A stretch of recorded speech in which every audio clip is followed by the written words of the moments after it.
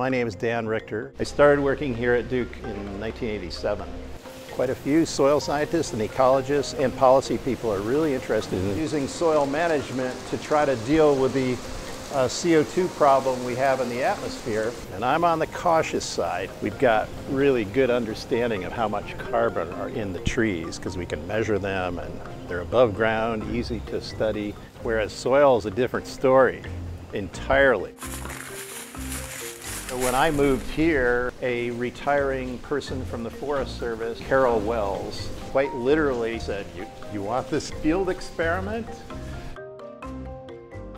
The Calhoun is in the Sumter National Forest, which was assembled in the 1930s basically because it was abandoned land. It's one of the most agriculturally eroded landscapes in America. The original objectives of the long-term soil experiment were to learn how to grow trees on old, eroded, played out cotton land.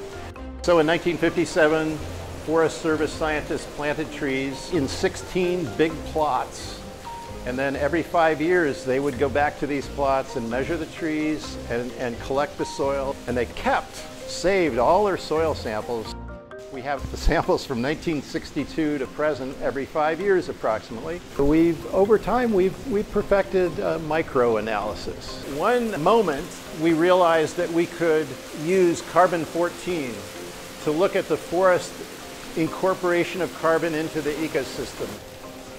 Carbon-14 is called bomb carbon, almost doubled the amount of heavy carbon, bomb carbon, in the CO2 of the atmosphere worldwide. That carbon is like a signature of the forest carbon regenerating the soil organic matter. We have statistically determined that the deepest layer of soil has lost carbon. It's a clear signal over the decades. But here we have uh, you know, the COVID cohort of leaves right on top, 2020.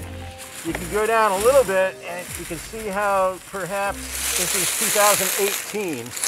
The decomposition in hardwood forests is, is relatively rapid.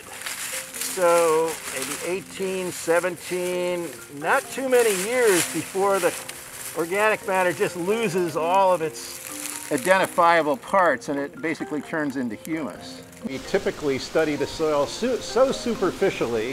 If we bring geologists into the into the conversation, we get a much deeper picture of the Earth and its weathering zone, its geohydrology.